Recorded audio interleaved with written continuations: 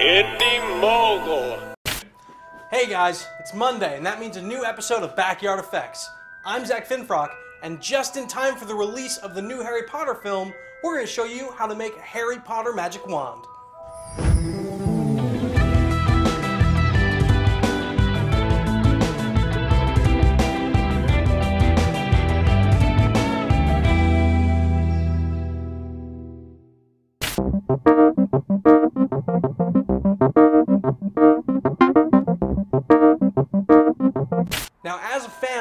Harry Potter books and movies, I want to do something that celebrated the seventh movie's release, but I also want to do something simple and worthy of a Backyard Effects episode.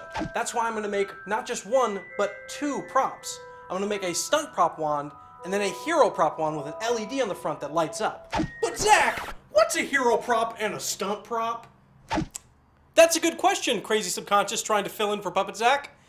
Well, a hero. Anytime! A hero prop is used for close-ups and really tight shots, so it has to look really detailed and really nice. Where a stunt prop is usually one that's used in wide shots and can be tossed around and drop on the floor and things like that. Since today's episode has more than one prop, it's also going to have more than one budget. So I'm just going to tell you the prices, and we're not going to spin a wheel.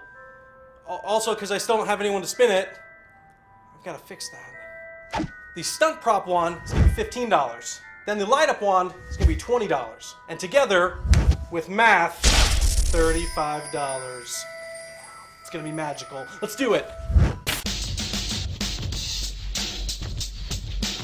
Plain printing paper, a drinking straw, two coin batteries, an LED light, random assorted colors of acrylic paint, spare wire, electrical tape, soldering iron, hot glue, and a wooden dowel. This build's difficulty level is 5. Simple time lapse. Woo! The first thing you're going to want to make is the stunt prop. What I did is I took a small piece of the wooden dowel and rolled the paper onto it so it widened towards the end, and then hot glued that all on. Then I used a pair of scissors and cut off the extra. Taking the scrap paper that I just cut, I stuffed in the end and then hot glued on the edge to give it a nice rounded end. Then using the hot glue, I also did all of the details on the wand. Now, every wand in the Harry Potter universe is different, so feel free to get creative at this point.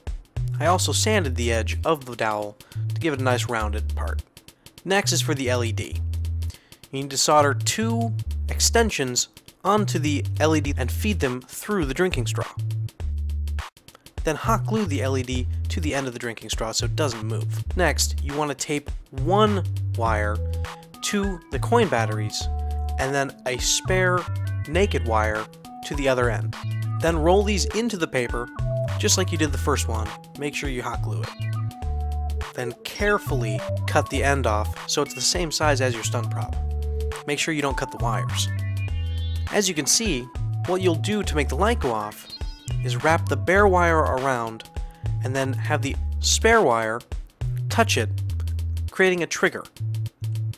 Since this will be hidden under your hand when holding the wand, it'll only look like the light's coming on when you use your magic.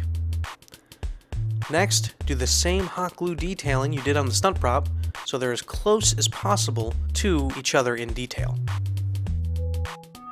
Then you do a single coat of latex paint, whichever color you need, and then I use silver acrylic paint for the details. After that, I took paper towel and black spray paint and made the grunge effect to make it look older. Then, with a couple spritz of silver spray paint to add for more detail, I was done.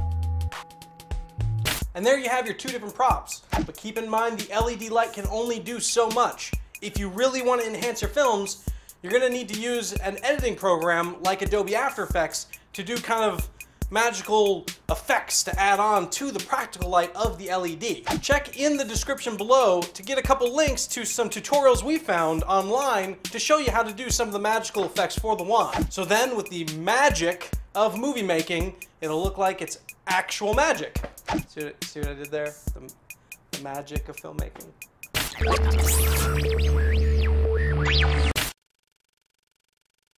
So sorry about the no trailer again, just like with Assassin's Creed. Um, but this time it's because we still need to shoot it. It will be online tomorrow on Tuesday, so you can check back then. Uh, leave a comment below. Let me know what your favorite Harry Potter films are, and I will see you next week with a very special Your Effects.